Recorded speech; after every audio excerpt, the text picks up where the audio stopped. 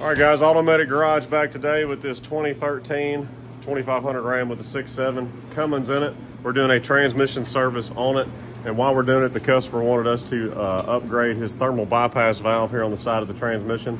So we're gonna show you what we're gonna replace it with here and get this one pulled off. You just hit 200,000 miles, so we're doing a 200,000 mile service. We're changing front and rear diff, uh, transfer case fluid. We're changing the transmission filter and doing a uh, just a service on it as far as changing the fluid in the pan.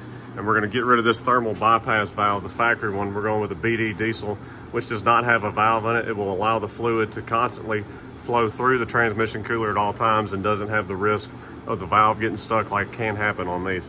Um, the only purpose in that is, is, is it gets the transmission up to operating temp faster because it doesn't let the fluid flow through it when it's at a cooler temp. Um, but it can also get stuck, cause your transmission to run hotter, especially when you're towing. So we're gonna get this one pulled off and throw this BD diesel on here. Hey Brian, what size wrench you using there? You Got a 20 millimeter on the hard line. And you wanna hold this valve for two people so you don't twist your lines all up like that.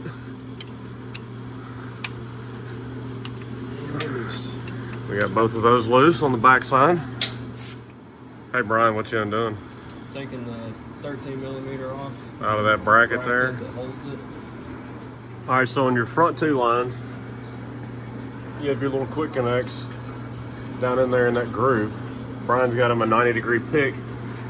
He's just gonna work them out of the groove and pop that off so we can slide the quick connect lines out. Hopefully. Because the uh, the BD diesel has the quick connects in it already. There's the other one coming out. I've bust it without making it fly.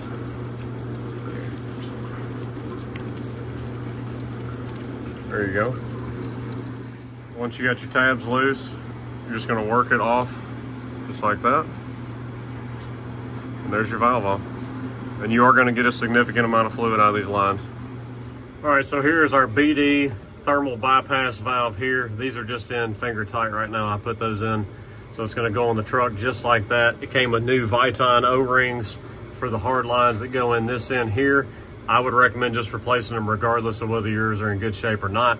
So uh, let me get those O-rings put on and then we'll get to mounting this thing up and have this truck back and going.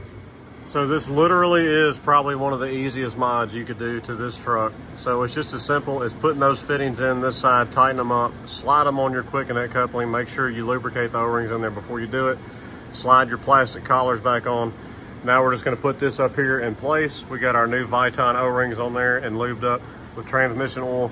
We're gonna uh, put those in there and tighten them up, put the bracket back on there, and now you know for 100% for sure that all your transmission fluid is gonna be flowing through the cooler and getting cooled, and you're not ever gonna have a bypass valve getting stuck or restricting fluid flow to your cooler.